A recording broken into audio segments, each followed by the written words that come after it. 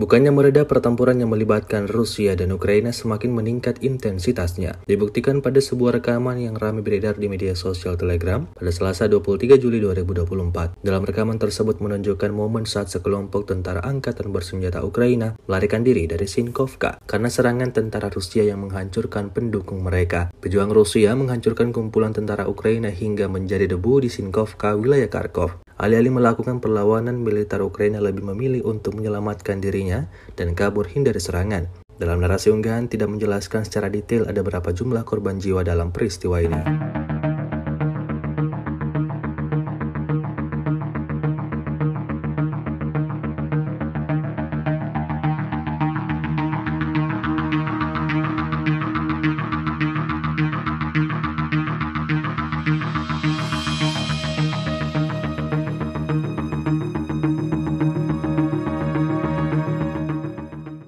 Download Tribun X sekarang. Menghadirkan lokal menjadi Indonesia.